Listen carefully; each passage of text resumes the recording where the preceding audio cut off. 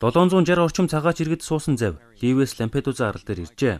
Италийн өмнөд хэсгийн энэхүү жижиг арал дээр цагаачид ирсээр байгаа юм а.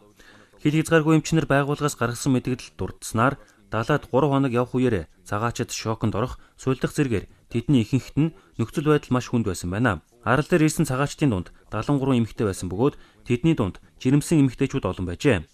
Ирснээсээ хэдхэн цагийн дараа энэ эмэгтэй охин төрүүлсэн байна. Эмчнэр их хүүхдийн биеийн байдал сайн байгааг хэлжээ. Эхийн биеийн байдал сайн байгаа. Цаашдын эмчилгээ сувилгаа хийх зорилгоор хүүхдийг полиармаар авч явах гэж байгаа. Охин төрсөн. Нэр нь Анжела. Ээж нь түүнийг Анжела гэж нэрлэхийг хүссэн. It's a girl, Angela.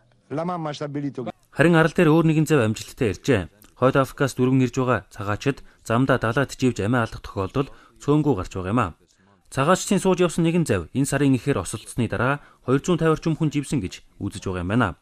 Он гараад 25 мянган орчим хүн Лампедуза болон бусад газрын дундад тэгсэн арлуудад хууль бусаар цагаачлан иржээ. Араб ертөнцийг хамарсан үмээ самуунаас болж өмнө нь хатуу хяналт шалгалтай байсан хөлийн хяналт сулраад байсан юм а.